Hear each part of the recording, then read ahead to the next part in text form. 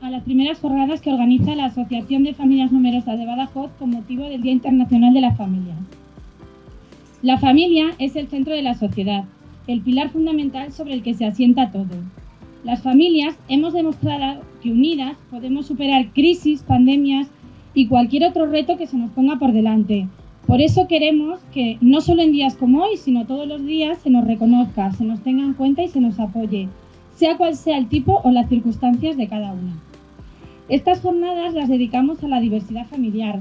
Todas las familias, como no podía ser de otra forma, merecen el mismo reconocimiento, protección y apoyo.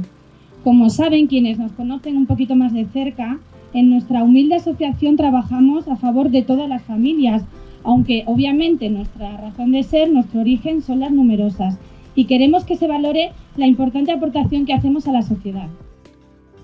Estamos al pie de la cama de todas las personas que entran para someterse a un trasplante, con el fin de darle apoyo moral, emocional, profesional y disipar todas sus dudas en tan difícil trámite. También gracias a nuestro equipo profesional y un magnífico equipo de voluntarios trasplantados, actuamos en la sociedad para prevenir las enfermedades que llevan a entrar en este proceso. Damos charlas a los más jóvenes, adultos, en colegios, institutos, otros colectivos, otras asociaciones, todo ello desde las seis delegaciones que cubren toda nuestra comunidad autónoma. Por último, y lo más importante, desde nuestra mesa informativa que regularmente ponemos en todas las geografías extremeñas, sensibilizamos y hablamos de donación de órganos y tejidos. La donación es un gesto altruista, considerado el mayor acto de bondad que puede hacer un ser humano a su fallecimiento. Sin donante no hay trasplantes y donar es regalar vida. Fin primordial de nuestra asociación es prestar atención y ayuda a las personas con discapacidad auditiva y a sus familias en distintos ámbitos de actuación, como la educación, adaptación a la sociedad, familia, trabajo, y favorecer así la inclusión de las personas sordas en la sociedad. En Adaba somos una pequeña familia que trabajamos con los recursos de que disponemos, con ilusión, con esfuerzo y con tesón, para crear una gran familia de personas, de familias, con un fin común, arropar a todas aquellas que puedan sentirse perdidas para resolver sus dudas y compartir sus experiencias. Los modelos familiares en la sociedad actual son el reflejo de los cambios que ha experimentado el concepto de familia en los últimos años. La familia convencional ha dado paso a la diversidad familiar.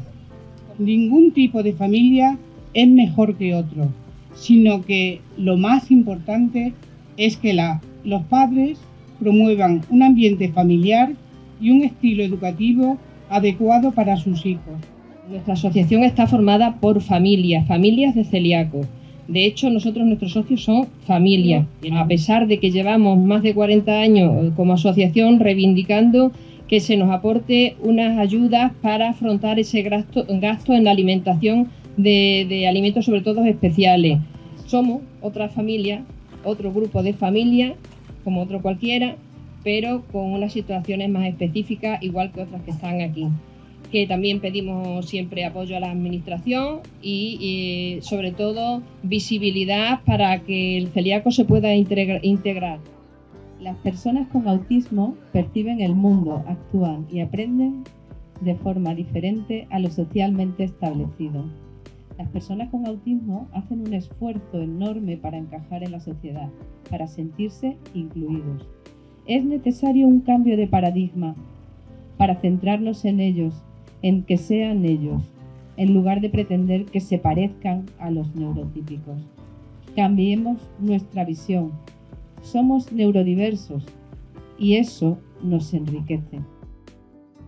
Bueno, muy, muy buenas tardes. Yo voy a ser muy breve porque sé que lleváis aquí toda la mañana y, creo que de manera muy exitosa agradecer a Ana y la Asociación de Familias Numerosas la, la invitación que ha hecho extensiva a muchas asociaciones de la ciudad que llevan eh, en algún caso mucho tiempo trabajando y trabajando muy bien en favor de, seguramente colectivos, familias y personas, sobre todo que, tanto lo necesitan.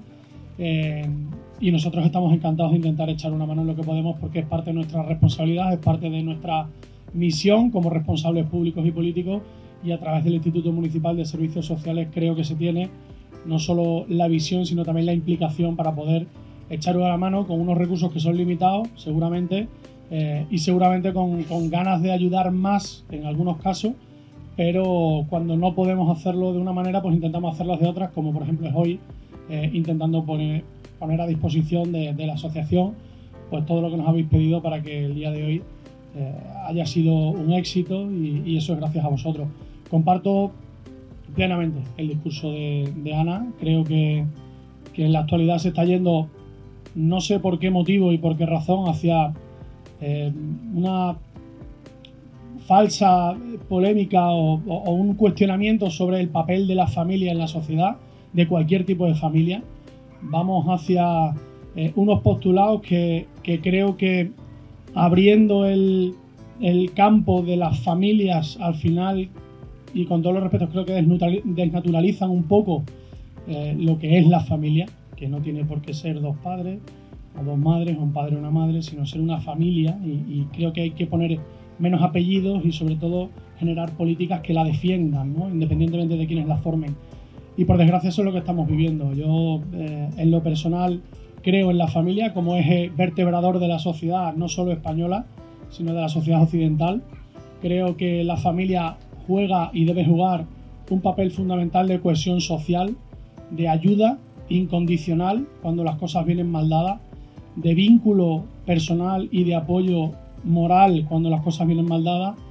Y en estas épocas tan convulsas que vivimos, eh, con tantas incertidumbres, en estos tiempos tan complicados de crisis económica, eh, nadie puede dudar que la familia ha sido realmente la red que ha sostenido esta sociedad, la red que ha conseguido que muchas personas que lo han estado pasando y lo están pasando muy mal eh, puedan tener lo mínimo, lo básico, pero lo necesario para poder mirar hacia adelante y poder mirar la vida con optimismo y encararla con ilusión. Así que enhorabuena por lo que hacéis, nosotros vamos a seguir trabajando con vosotros, vamos a seguir trabajando con todas las asociaciones, vamos a seguir implicados en el mundo asociativo, en el tercer sector, porque es nuestra responsabilidad, como decía al principio, porque es nuestra convicción y sobre todo porque es una visión que tenemos compartida con vosotros. Así que este es el primer encuentro de muchos, que nos veamos en muchos más y que ahora que se abre un periodo interesante en lo político, bueno, pues que eh, a pesar de lo que pase el 28 de mayo, nos veamos seguro en la siguiente y en las últimas ediciones. Así que muchas gracias a todos, muy buenas tardes y enhorabuena.